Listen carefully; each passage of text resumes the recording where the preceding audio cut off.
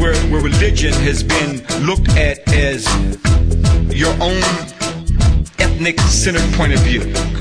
You can't see nobody else but yourself. You can't see nobody else but yourself. Because it's a revolution of learning altogether, you know. Uh, but I'm going to see it more clearly as, as I get into it. Uh, if chemistry is unified under hydrogen as a building block, then we're going to look now at the various subjects that constitute uh, what you might call the modern day learning, knowledge base. Biology. Well, biology concentrates on a building block called cell.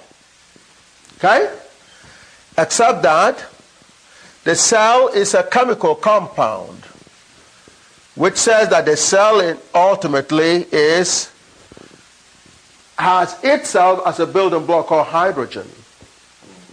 So in effect, biology therefore is a subset of chemistry. Of chemistry. The mystery of the ancient Africans. Okay? So the biology experts and chemist experts, they're no different. They're the same profession. What about psychology?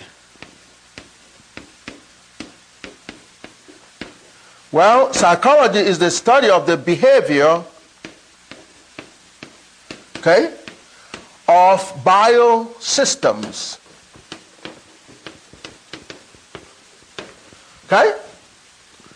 Well, what could you do? How could you do that study of the behavior of the biosystems without dealing with the cell? You're dealing with the cell, okay? The cell is what, in other words, you're talking about the behavior of cells in effect. But in reality, you're talking about the behavior of hydrogen. In other words, that's also a subset of chemistry.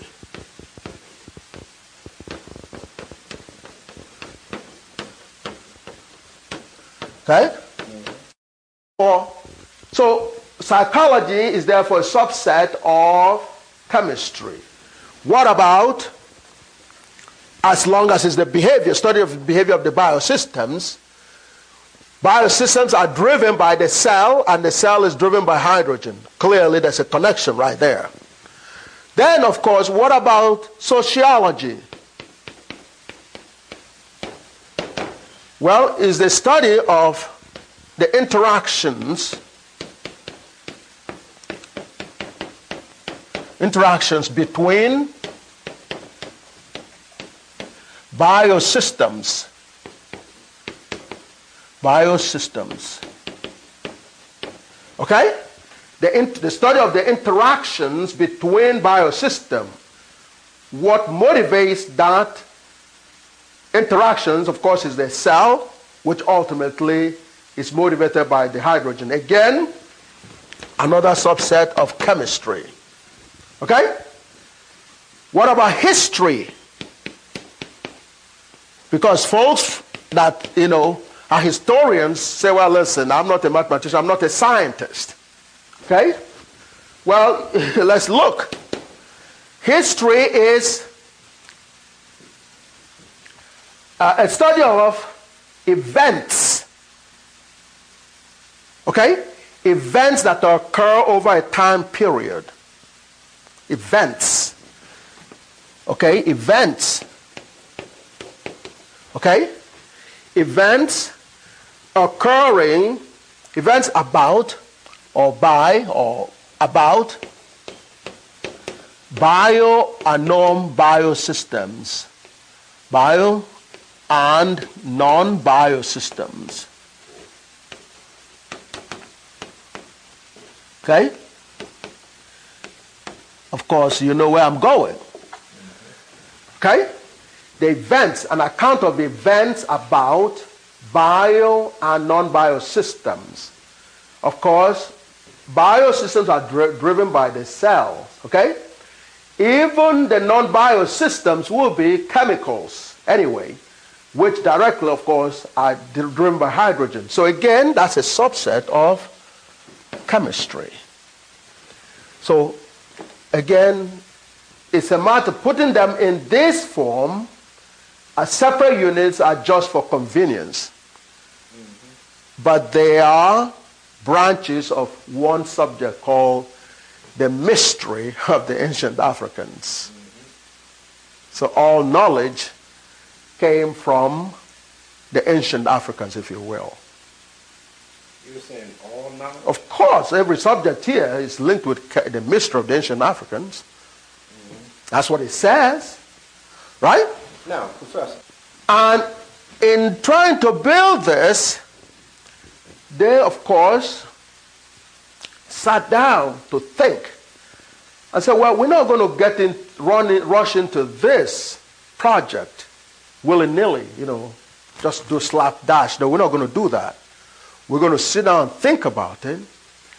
And in the process of sitting down and thinking about how to build it at the first, came out the subject called geometry. Geometry. Okay?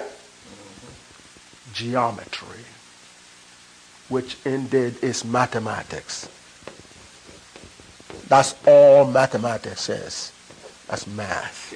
Well, in your in your um, in your elementary description of geometry, you hear geometry as being a study of shapes and so on and so forth. Mathematical study of shapes, except that it is it is indeed it is indeed uh, the entire mathematics. That's what geometry is.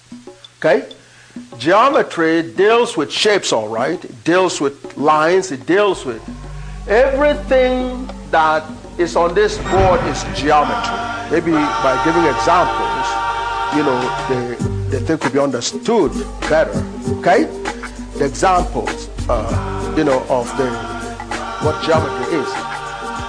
This is geometry because it has a length, a, a height, and a width. Okay? That's a shape. Therefore, that's geometry. Okay?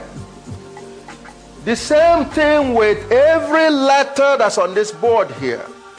Okay? The line here, you know, this God here, if you draw a coordinate system, y, x, the G here becomes a geometric line, if you will, a geometric curve. This is a geometric curve.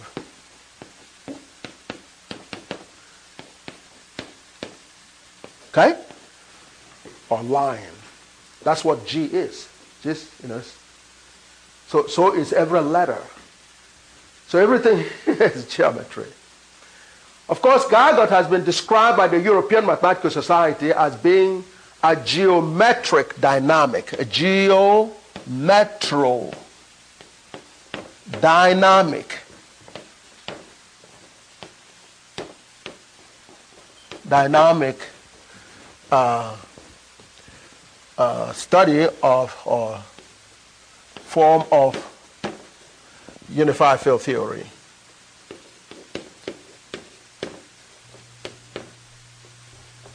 Unified field theory.